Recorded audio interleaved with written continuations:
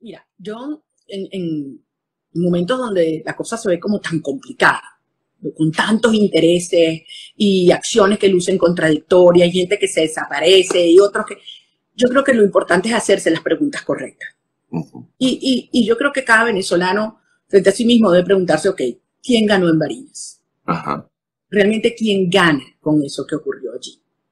Y, y, no es una respuesta evidente, porque esto no es un tema de votos. Si esto fuera un tema de votos, habríamos salido de esto hace muchísimo tiempo. No había 33 elecciones y 15 referendos en estos 23 años, Sergio. O sea, vamos a, tener un poquito, o sea, yo creo que la memoria histórica y la, reconstrucción de todo el proceso es súper importante. O sea, la sociedad venezolana no es la primera vez que dice vamos a demostrar la fuerza que tenemos.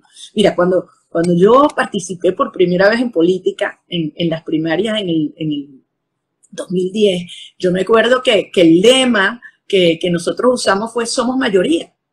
Y hay gente que me decía, ¿cómo que mayoría? Somos mayoría. Yo tengo convicción de que la mayoría es democrática y quiere salir de esto hace muchísimo tiempo. Entonces, esto, ya no, esto no es un tema de voto, ojalá fuera un tema de voto.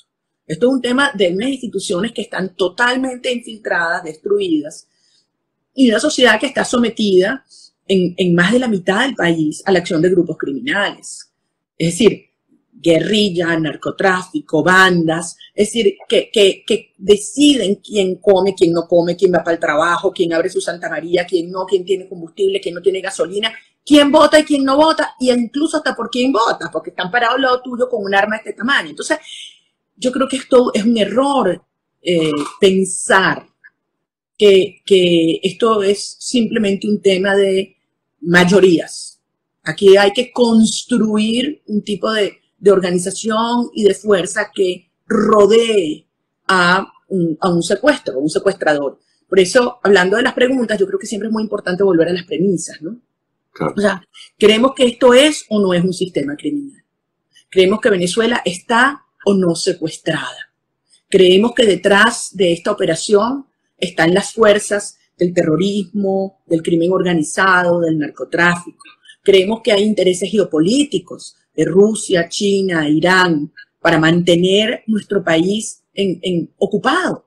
Entonces, si todo esto es sí, creemos que van a ceder el poder si no los rodeamos primero y no construimos incentivos para que lo hagan.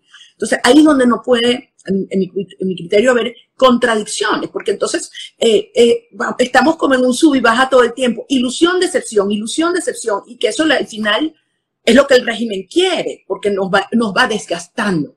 Allí lo importante es tener una caracterización profunda, sólida, bien armada de qué es lo que está pasando en Venezuela y de cómo salimos de esto y de, y de qué necesitamos para salir de esto.